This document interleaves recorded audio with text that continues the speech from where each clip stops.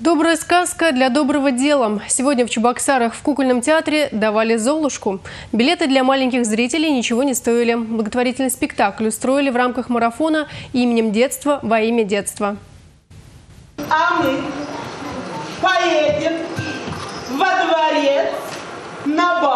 Содержание этой сказки, наверное, все и так знают наизусть, но почему-то перечитывать и пересматривать ее никому не надоедает. Для благотворительной акции «Энергия добра» Золушку тоже выбрали не просто так, да и зрители были особенные. Дети из неблагополучных семей и ребята с ограниченными возможностями. Эта сказка для детей, она все время остается как бы первой сказкой. Дети верят в сказку. Именно здесь в Золушке оно все показывает добро, э, отношение к людям. Дети это все очень хорошо воспринимают.